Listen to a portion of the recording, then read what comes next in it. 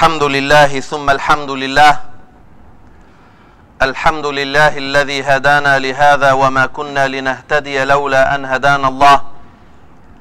وأشهد أن لا إله إلا الله وحده لا شريك له. وأشهد أن محمدا عبده ورسوله. أرسله بالحق بشيرا ونذيرا. وداعيا إليه بإذنه وسراجا منيرا. بلغ الرسالة وأدى الأمانة. وتركنا على المحجة البيضاء ليلها كنهارها لا يزيغ عنها إلا هالك. صلوات ربي وسلامه على الرحمة المهداة سيد ولد آدم محمد بن عبد الله صلى الله عليه وآله وصحبه وسلم تسليما كثيرا. ثم أما بعد عباد الله. I promised you that in this month of Rabi' al-Awwal we will be talking about the Prophet sallallahu alaihi wasallam. And today I just chose to live with you some meanings in the shade of Surah Al-Duha. This great surah of Rasulullah sallallahu alaihi wasallam. That started with an oath. The wow, the letter wow, is an oath used in the Arabic language. The one who is making the oath is Allah. And that which the oath is made with is time. والضحى والليل إذا سجى. A reference to two periods of time. The first is the morning time, the morning hour, Sa'atul Duha. The second is Al-Layl. And before we go into the details of the tafsir, we need to go to the surah prior to that. Just before Surah Al-Duha, there is Surah Al-Layl. And Allah subhanahu wa ta'ala started that surah by another oath. But then He started with the night. وَاللَّيْلِ إِذَا يَغْشَى And then He mentioned the day after. وَالنَّهَارِ إِذَا تَجَلَّى Few points. The first one, the surah of Al-Layl, it's called Surah to Abi Bakr Radiallahu ta'ala because at the end of the surah it speaks about the role of Abu Bakr giving his money fi sabilillah freeing the slaves وسيجنبها الأتقى الذي يؤتي ماله يتزكى وما لأحد عنده من نعمة تجزى إلا ابتغاء وجه ربه الأعلى ولسوف يرضى These ayat were talking about Abu Bakr as-Siddiq radiallahu ta'ala and his role in freeing slaves. And interestingly that there was Surah Al-Layl which is called Surah Abu Bakr and then Surah Al-Duha which is called Surah Muhammad sallallahu alayhi wa. There is a surah called Surah Muhammad, but all the surah is about whom? The Prophet wasalam. Meaning that if there was an honor in the relationship between Abu Bakr and uh, the Prophet sallam, that these surahs came next to each other. It is a hint. It is a sign of the honor of this companionship that were before even Islam before revelation came on the Prophet sallallahu alaihi wasallam. That's one. The second, why Surah Al-Layl started by the night and then brought the day? And why Surah Al-Duha started by the Duha, which is the beginning time of the day, and then brought the Layl? Because prior to Abu Bakr, there was no Islam he was living among the pagans So it was a dark time and then the night finished and came an nahar with the light of Islam to Abu Bakr as-Siddiq. But for the Prophet, from his birth, sallallahu alaihi wasallam, there was no night before him. He was on the track of hidayah. ما ضل صاحبكم وما غوى. It is a reference of the combination of the three levels of knowledge that the Prophet was honored with, sallallahu alaihi wasallam. The level of al-fitrah, that Allah made him with it, and the way that his mother saw light coming out from her with his birth, sallallahu alaihi wasallam, that the castles in Syria were reflecting that light by the wash of his heart, alayhi salatu wasalam, when he was an orphan by Halima Sa'diyah, and then by his conscious, alayhi salatu wasalam, that Allah during this period of 40 years before revelation came down unto him, Allah protected him, subhanahu wa ta'ala. Even when he wanted, as narrations speak about, he wanted to go have some entertainment, Allah brought deep sleep unto him and he would not go and join these people in whatever they were doing, drinking liquor or doing songs and dancing and things like that. And prior to the revelation, he would always contemplate, sallallahu alayhi wasallam And prior to revelation, he had the true dreams. All this were levels of knowledge that kept him on the pure track. And we will talk, if we have time, in relation وَوَجَدَكَ ضَالًا What do scholars reflect on this term of ad-dalal that Allah described him with sallallahu alayhi wasallam. And the third level was revelation. So between his natural inclination, al-fitra, between his contemplation, preparing him to revelation, and between revelation he was secured. So it had to start with wadduha, the light first. وَاللَّيْلِ إِذَا سَجَى That after his death, sallallahu alayhi wasallam, there is no more revelation coming down. In that perspective, but the light stays. Umm Ayman, his caretaker, radiallahu ta'ala anha. When the Prophet died, sallallahu alayhi wasallam, Abu Bakr told Umar, let us go visit Umm Ayman the way we used to visit her with the Prophet sallallahu alayhi wasallam. When she saw them both alone, without the Prophet alayhi salatu wasalam, she cried. And then Abu Bakr said, يا أمة الله O servant of Allah أما تعلمين أن ما عند الله خير لنبيه مما عندنا Don't you know that which Allah had prepared for His Prophet is better than that which is on earth here with us?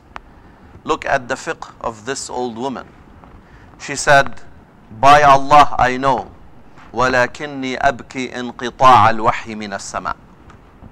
But I am crying for there is no more revelation is gonna come down unto us. That at his time, sallallahu alayhi wasallam, if there was an issue, revelation comes and brings the answer. Now we need to figure that on our own. The surah is 11 verses. The first two are the oath. والضحى والليل and here is a تعاقب day night day night and this cycle of day and night it refers to something as it was said by the scholars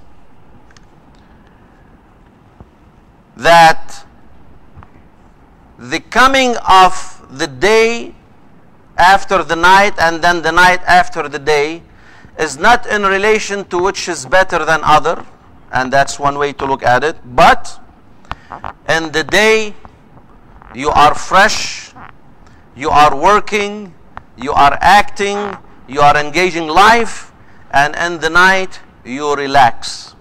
The reason of the revelation is that when the Prophet received Iqra, sallallahu alayhi wasallam, and then after that, Ya ayyuhal muddathir or Ya ayyuhal muzammil, for few days some scholars say it's 3 some scholars say it's 7 some scholars say it's 15 more or less. Quraysh started accusing the Prophet sallallahu alayhi wasallam qalaka wa wadda'ak that the Lord of you has abandoned you and let go of you and the term qala is to hate you. Your Lord have let go on you.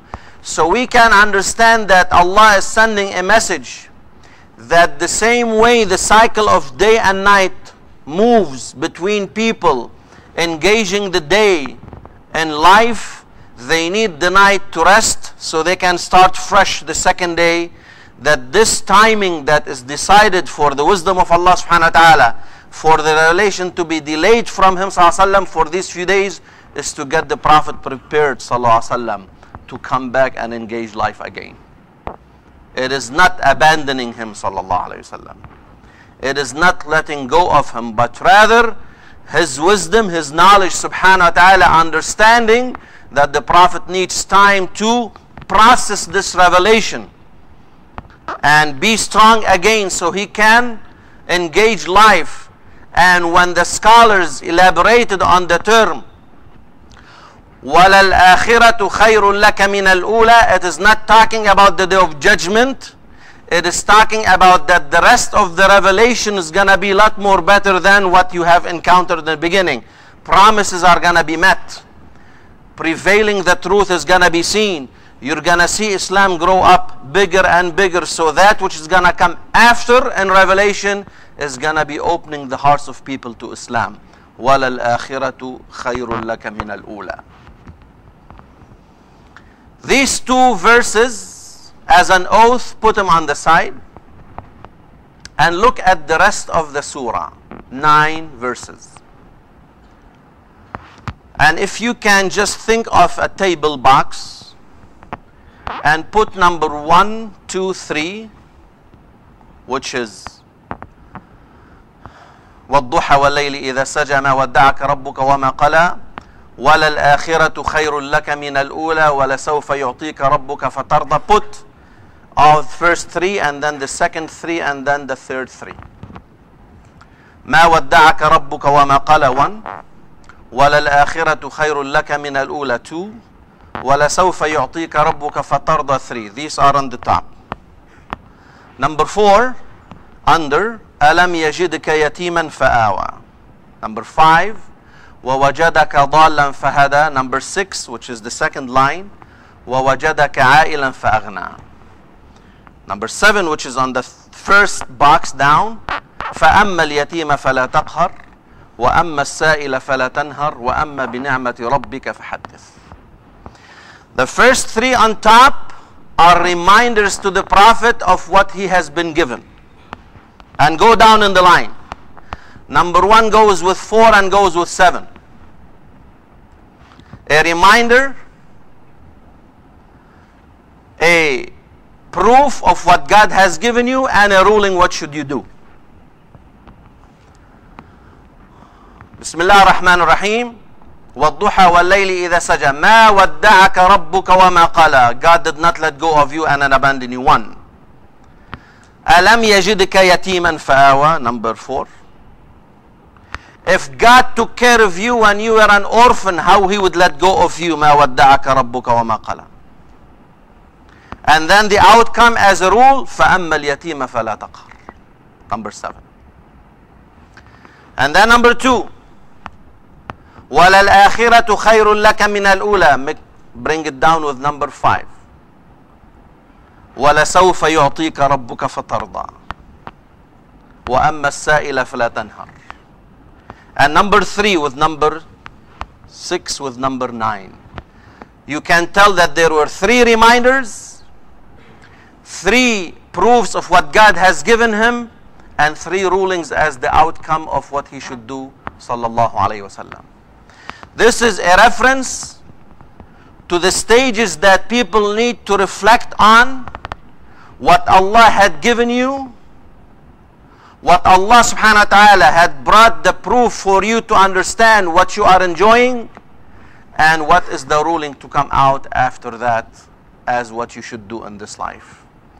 From this, we can go into details, one ayah after another, inshallah ta'ala. When Allah is saying, ما ودعك ربك وما قلى والضحى والليل إذا سجى ما ودعك ربك وما قلى God did not abandon you. The term qala in the Arabic language is said for hate. But the term tawdi' is meant for the close friends. And interestingly, you can see that the damir or the reference al-kaf was mentioned only with at-tawdi' Allah did not say ma wadda'aka rabbuka wa ma qalaka. He took out the derm or the damir al-kaf because he would only make wada' and the intention that you're gonna come back and meet and here he mentioned him sallallahu with the reference of the letter kaf. ما ودعك يا محمد وما قلى. He is not of hate for you. And how would someone honor someone by saying, I don't hate you? If it was just in the beginning, yes, you would have a question mark. But if people were accusing you, and here the pagans of Quraysh were accusing the Prophet sallallahu alaihi wasallam that his Lord hates him, it was affecting him sallallahu Alayhi wasallam. The only way out is to diffuse this and state that it is not the truth. وَمَا قَلَى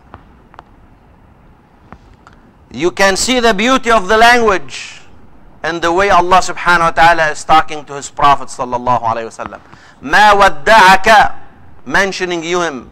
The Prophet with the kaf, with the damir, وَمَا قَلَى without the kaf, without the damir, to refer that it is not something to be mentioned in his name sallallahu alayhi wa alihi wa sahbihi wa sallama tasliman kathira. And وَلَلْآخِرَةُ خَيْرٌ لَكَ مِنَ الْأُولَى In this ayah, many scholars referred to that which Allah had prepared for him in heaven but it is also a reference to that which will come of the risala to that which will come of this message that what is left of this message is gonna be pleasing for your heart it's gonna be a proof that ما ودعك ربك وما قلى revelation is gonna continue the truth is gonna prevail in every time Quran is gonna be revealed and you're gonna see that the end of this message is gonna be way more pleasing to your heart than the beginning of it. If people rejected you in the beginning, hearts are gonna be open at the end. If people turned their backs away from the truth, you're gonna see later on إذا جاء نصر الله والفتح ورأيت الناس يدخلون في دين الله أفواجا فسبح بحمد ربك واستغفره إنه كان توابا ولسوف يعطيك ربك فترضى. ولسوف يعطيك ربك فترضى. إمام الزمخشر ان تفسير has an interesting reference saying ما هذه اللام الداخلة على سوف? The term سوف in the Arabic language to the future. Which is an assurance by Allah that that which Allah will give you is gonna be continuous in the future, is not gonna stop. And the lam is for ta'keed, which is assurance. And the wow is also a relation to the oath that Allah subhanahu wa ta'ala or the ta'keed, the assurance from Allah subhanahu wa ta'ala. And Allah will keep giving you until you are pleased.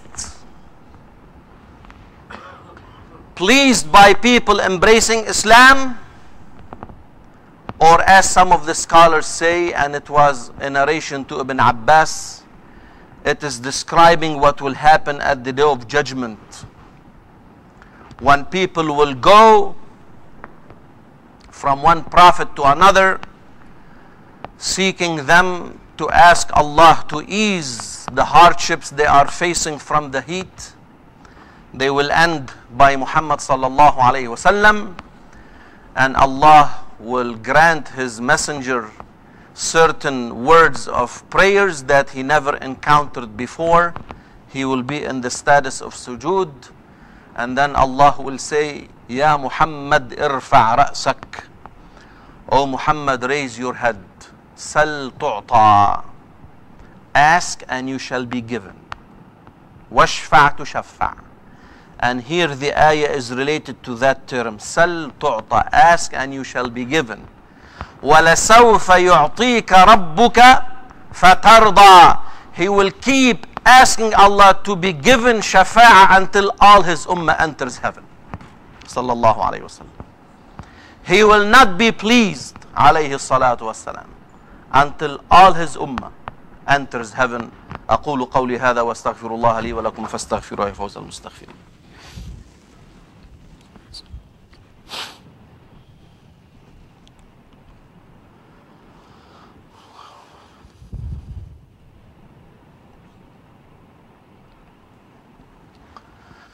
الحمد لله حق حمده والصلاة والسلام على من لا نبي من بعده وأشهد أن لا إله إلا الله وحده لا شريك له وأشهد أن محمدا عبده ورسوله. ألم يجدك يتيما فآوى. We can refer to the term of being an orphan and Allah took care of you. أواك ورعاك. But Arab refer to a very rare gemstone by Durratun Yatima. That there is a unique one, nothing compared to another gemstone, they call it Yatima. It is not to be compared to anything else. And if it was true biologically that he had been an orphan sallallahu alaihi wasallam the father's death and then the mother's death but in the spiritual meaning he is al yatim that it is not to be compared to anyone else sallallahu alaihi wasallam he is the one that Allah chose he is the one that Allah subhanahu wa ta'ala meant to prepare for this position of prophecy sallallahu alaihi wasallam فآواك not just by feeding you or sheltering you فأواك by making you a messenger, a recipient of this Risala. So we need to understand أَلَمْ يَجِدْكَ يَتِيمًا Didn't he find you unique? Nothing to be compared to you? فَأَوَاكَ He took care of you by delivering this message unto you صلى الله عليه وسلم وَوَجَدَكَ ضَالًّا فَهَدَى Back to the point we raised in the beginning. The term ضل in Arabic language has many references. In the Quran, Allah used the term ضل by forgetting. For example, when the ayah about the dain and the reference of the two women being witnesses, أن تضل إحداهما. If one would forget, so the other one would remind. Another term, the term dalal is meant love. The kids of Yaqub were telling him when he was leaning toward his son Yusuf, إنك لفي ضلالك القديم. You are still in this old love of your son. That's what's prompting you to cry and feel that. And dalal means to be astray. But as we mentioned before, that between the fitrah of Rasulullah sallallahu alayhi wasallam, between his conscience that Allah gave to him to contemplate throughout the four years prior to revelation, and between the risala coming down to him, he never was in kufr sallallahu alayhi wasallam. He never was in sin sallallahu alayhi wasallam. So here the term need to be related to what the scholars agree upon as the tafsir meant by this ayah. اتفقوا أنه كان ضالا عن معالم هذه الرسالة وأحكام الشريعة غافلا عنها فهداه الله إليها بالرسالة وهو معنى قوله تعالى ما كنت تدري ما الكتاب ولا الإيمان.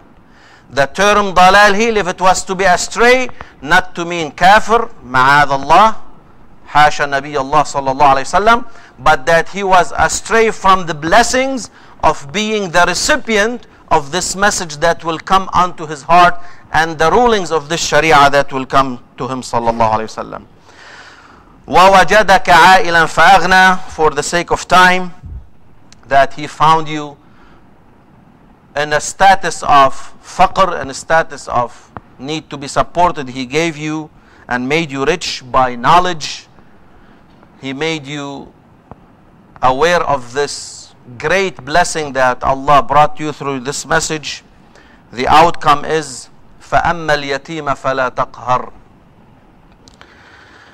The Prophet sallallahu alaihi wasallam said إن اليتيم إذا بكى the orphan if he cries اهتز عرش الرحمن لبكائه the throne of Allah will shake for his tears فيقول الله لملائكته Allah will tell his angels من أبكى عبدي وأنا أخذت أباه وواريته في التراب Look at the orphans now in Philistine, in Philistine and in Egypt and in Syria. And the Mukhayyam, the camp of Al Yarmouk. The food is right by the door and no one is alive to enter them. People are dying of hunger. Allah is telling His angels, Who made this cry? And I am the one who took his dad and buried him under the ground. فيقولون ربنا أعلم به Allah knows better. فيقول اشهدوا لمن أرضاه Witness me for the one who pleases this yatim, this orphan, أني أرضيته يوم القيامة. I will please him at the day of judgment. Whoever pleases an orphan in this life, I will be the one pleasing him in the day of judgment. وأما السائل فلا تنهر If people were seeking some help or seeking knowledge, do not turn your back away from them. And let me finish with this story. وأما بنعمة ربك فحدث Speak of the knowledge that Allah subhanahu wa ta'ala given to you or the ni'mah of whatever general blessings. The Prophet was sitting sallallahu alayhi wasallam.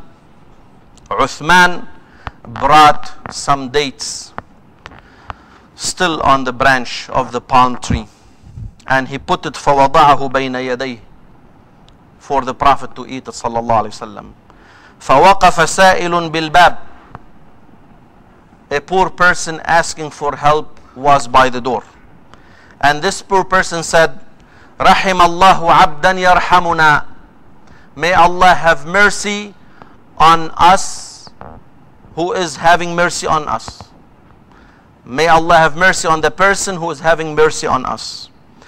فأمر صلى الله عليه وسلم بدفعه إلى السائل. The Prophet give Ya Uthman this date that you gave me to this person. فكره عثمان ذلك. Uthman didn't like that. He wanted the Prophet to eat صلى الله عليه وسلم. وأراد أن يأكله النبي صلى الله عليه وسلم فخرج واشتراه من السائل. Uthman followed that man and he bought the dates from him. He said, I'll give you money, just give me the dates back. I want the Prophet to eat it. He brought it back. The man came and knocked the door again. And he said the same words. Rahim Allahu abdan yarhamuna. May Allah have mercy on the one who have mercy on us. So the Prophet gave it back to him second time. And Uthman went and bought it from him the second time. And it happened the third time, three times. Uthman purchasing the same dates for the Prophet to eat them, sallallahu alaihi wasallam. The fourth time said, when the man came back, so the Prophet said, Asailun. Are you doing business or are you asking for help? He was rahma lil alameen, sallallahu alaihi wasallam. He was qudwa lana ajma'een. He was a role model for us. I just felt in this month of Rabi' al-Awwal, remembering his birth, sallallahu alaihi wasallam, to live some moments of reflection on this great surah. أسأل الله تعالى أن يجعلنا من الذين يستمعون القول فيتبعون أحسنه. اعلموا أن الله وملائكته يصلون على النبي. يا أيها الذين آمنوا صلوا عليه وسلموا تسليما. اللهم صل على محمد وعلى آل محمد كما صليت على إبراهيم وعلى آل إبراهيم وبارك على محمد وعلى آل محمد. كما باركت على إبراهيم وعلى آل إبراهيم في العالمين إنك حميد مجيد. وقال ربكم ادعوني أستجب لكم. اللهم ارحمنا فإنك بنا راحم. ولا تعذبنا فأنت علينا قادر. والطف بنا ربنا فيما جرت به المقادير. ربنا لا تذرنا فرادى وأنت خير الوارثين. ولا تكلنا إلى أنفسنا طرفة عين ولا أقل من ذلك يا الله. اللهم ارحم موتى المسلمين. اللهم اشف مرضى المسلمين اللهم اقض الدين عن المدينين اللهم انصر عبادك المجاهدين اللهم فك أسر إخواننا المسجونين اللهم خفف الهم والبلاء عن أهلنا في فلسطين ارفع البلاء عنهم يا رب العالمين اللهم ارفع الهم والبلاء عن أهلنا في سوريا من مات منهم فاقبله شهيدا ومن جرح منهم فداويه يا رب العالمين ومن أخرج من دياره فأرجعه سالما غانما يا أكرم الأكرمين. اللهم اربط على قلوب اليتامى والارامل يا أرحم الراحمين. اللهم إنا نسألك أن تغفر لنا ذنوبنا. اللهم إنا نسألك رضاك والجنة. ونعوذ بك من غضبك والنار. ربنا آتنا في الدنيا حسنة وفي الآخرة حسنة وقنا عذاب النار. ربنا اغفر لنا ولوالدينا. ربنا ارحمهما كما ربيانا صغارا. وآخر دعوانا أن الحمد لله رب العالمين. قوموا إلى صلاتكم وأقيموا الصلاة.